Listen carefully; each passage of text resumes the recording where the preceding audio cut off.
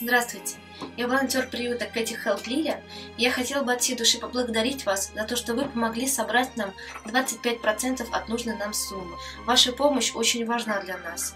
И если бы не вы, мы бы ни на рубль не продвинулись к нашей цели.